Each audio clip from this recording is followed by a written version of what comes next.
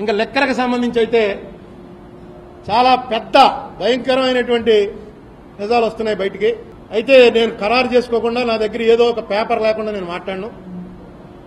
ఒకటి మాత్రం నిజం ఇక్కడ గవర్నమెంట్ పర్చేజ్ ప్రైస్ అంటే ఒక చీప్ లెక్కర్ బాటిల్ పక్కన తెలంగాణ వాళ్ళు ఎంత కొన్నారు ఇటుపక్క ఒరిస్సా వాళ్ళు ఎంత కొన్నారు అటుపక్క మెడ్రాస్ వాళ్ళు ఎంత కొన్నారు ఆ పక్క బెంగళూరు వాళ్ళు ఎంత కొన్నారు ఛత్తీస్గఢ్ వాళ్ళు ఎంత కొన్నారు పాండిచ్చేరి వాళ్ళు ఎంత కొన్నారు? వీళ్ళంతా మనకి చుట్టూ ఉన్నటువంటి బార్డర్ బార్డర్ స్టేట్స్ ఆ స్టేట్లలో చీప్ లెక్కలు ఏ ఏ రేట్లో కొన్నారు అన్నదానికి ఆంధ్రప్రదేశ్ గవర్నమెంట్ ఏ రేటు కొంది అన్నటువంటి చూస్తే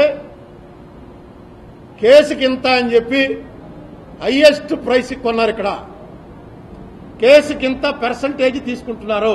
కొనుగోలు తగ్గిపోయిందంటే జనం మానేస్తున్నారు తాగుడు. తాగుడు మానేయటం వల్లే కొనుగోలు తగ్గిపోయింది. నేను కోరుకున్నది ఇదే. అని ఆయన అంటున్నాడు కానీ అది కాదు కారణం. మీకు చుట్టూతో ఉన్న అన్ని బార్డర్ స్టేట్ల నుంచి లెక్కలు వచ్చేస్తుంది. అన్ని మన చుట్టూతో ఉన్న అన్ని స్టేట్లలోనూ రేట్లు ఇక్కడ కన్నా సగం ఉంటే ఆపేస్తే ఉందండి నాటుసారా శుభ్రంగా కాచేస్తారు. కరోనా టైంలో కొట్లన్నీ కట్టేసినప్పుడు లీటర్ మూడు వందలట. ఇప్పుడు కొట్లు తెరిచాక లీటర్ ఐదు వందలట. ఇదేంట్రా అని ఆశ్చర్యపోయి తగ్గాలి కానీ పెరిగింది ఏంటంటే కొట్లు తెరిచిన తర్వాత ఈ రేటు చూసి మామూలుగా వెళ్ళి చీప్ లెక్క తాగేవాడు కూడా మా దగ్గరికి వచ్చి నాటు సారా అయితే అవుతున్నాడండి తర్వాత మనకి ఇక్కడ అమ్ముతున్న బ్రాండ్లు ఏంటి?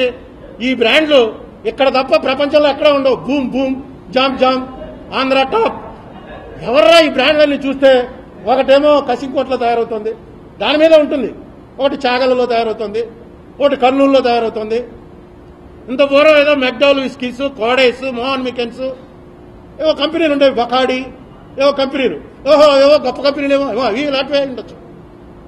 ఏవో కంపెనీలు బ్రాండెడ్. ఇవి వేళ ఆ కంపెనీలకు సంబంధించినవి ఇక్కడ ఆంధ్రప్రదేశ్లో లేవు. ఎందుకు లేవు? మీరు రేటు పెంచి అమ్ముతాం మేము అని అనొచ్చు. తప్పులేదు వాళ్ళు అమ్మొచ్చుగా వచ్చి అదే రేటుకి వాళ్ళు అమ్ముతారు కదా. వాళ్ళని ఎందుకు అలవ్ చేయట్లేదు? ఎందుకు పెద్ద కంపెనీలు ఆంధ్రాలో వచ్చి అమ్మటానికి సిద్ధపట్టలేదు